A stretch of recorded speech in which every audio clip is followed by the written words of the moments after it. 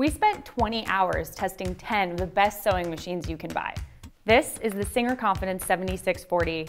Here's why it's our best overall pick. The Singer Confidence will add pizzazz to any project.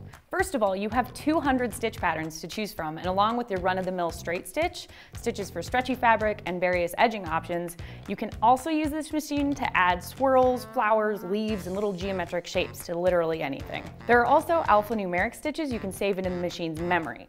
That means you can select and save each letter, hit the start stop button, and watch the machine just sew an entire phrase or sentence. Other cool features include an LCD light right over the needle, an automatic needle threader, and integrated speed control.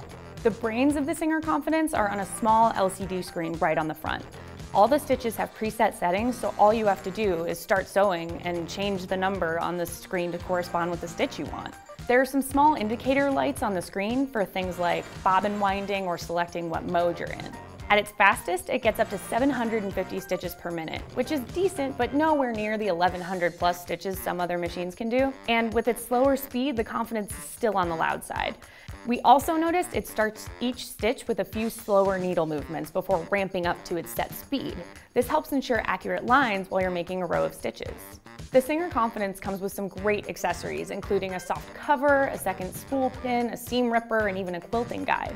There's even an extension table that you can snap on for extra long sewing projects. It also comes with nine extra feet, the most of the machines that we tested.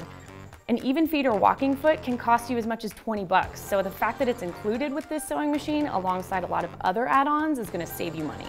Now, a few things that aren't perfect.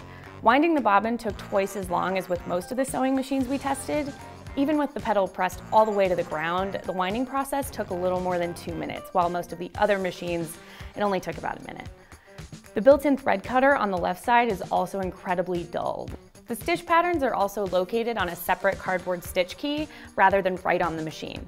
You can affix the stitch key to the sewing machine with a little piece of plastic that comes with, but it's just not as convenient as having it permanently on the side of the sewing machine. Despite its few shortcomings, the Singer Confidence 7640 still managed to outperform every other machine in our lineup. With its wide variety of stitch patterns, accurate lines, and great accessories, it gets the job done and wins our best overall pick.